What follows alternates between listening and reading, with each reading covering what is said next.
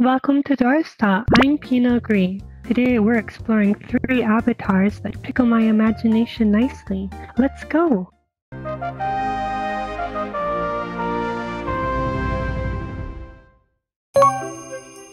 Here we are with Mendako-chan by Asukapan no Sho. Mendako-chan is a mendako, which is a type of tiny little octopus. I didn't even know the name of it in English until I looked up for this video. Um, one of the common names is a flapjack devilfish. No.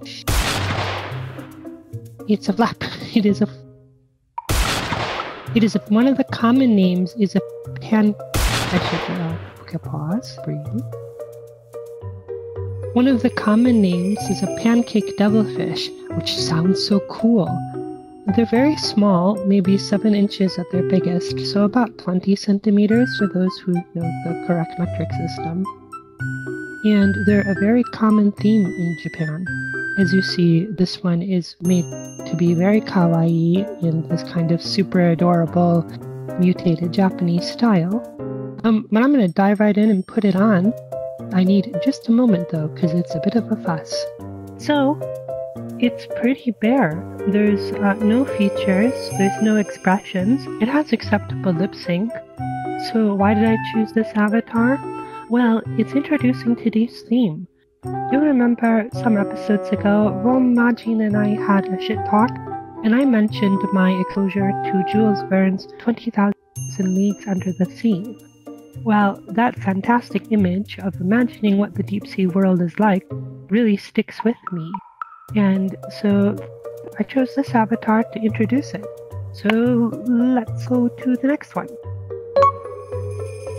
Here we are at the booth of Shinbi Denshi Zo Keiten. This is Oguchi Hoya. Oguchi Boya? Rendaku is a strange function in Japanese. Oguchi Boya. Uh, a boya is a sea squirt, and this is a big mouth sea squirt. As you can see, that is definitely the right name for it. Let me try it on and see how big I can make my mouth. Ah, yep, that's a big mouth. So, a sea squirt is kind of a tiny little animal that just squirts around in the bottom of the ocean. I think, I don't know how many of them move, but this one is definitely sessile. So it just sits around holding its big mouth open, waiting for something to come by so that it can eat it. Hump! Ooh, I didn't get to close my mouth. But when it does that, uh, I don't have anything more interesting to say. But this one stood out to me because the lines between English and Japanese crossed. Behind me, it talks about its lip syncing. And if you could imagine washing your hands in a sink looked like this, suddenly it started talking to you, you would have a lip sync.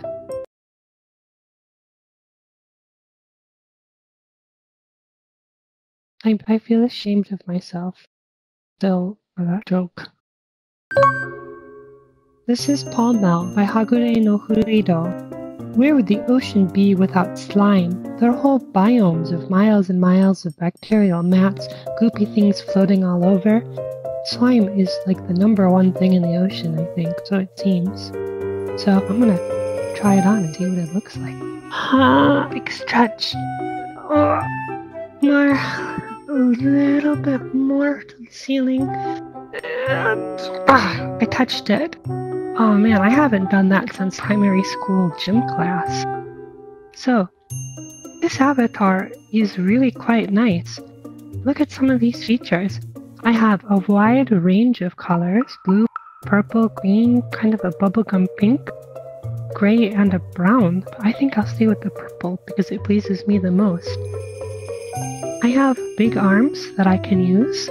I think that's what a slime would do, especially when wanting to reach something far. And look at how nice this slime moves when I move my legs, when I sway my body, when I turn around.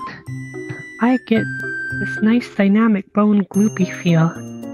Speaking of gloopy feel, I can move my bangs about. Big ones, small ones, only on one side, on both sides. So that's a nice feature.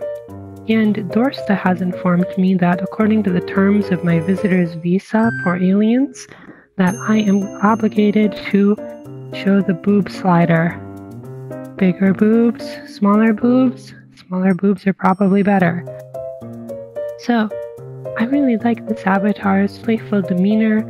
I like the shimmering, glossy feel of uh, what do we call it? Slime body, I guess, and the fantastic way the dynamic bones all fit together when it moves. It's really nice. Today, the three avatars we saw tied into a dream I had, which is particular to me. But I think other people can share a sentiment that avatars are really nice when they inspire my imagination and let me play and be creative with my friends. So, those are the best avatars in my opinion. Thank you for watching. Tell us what you think in the comments below.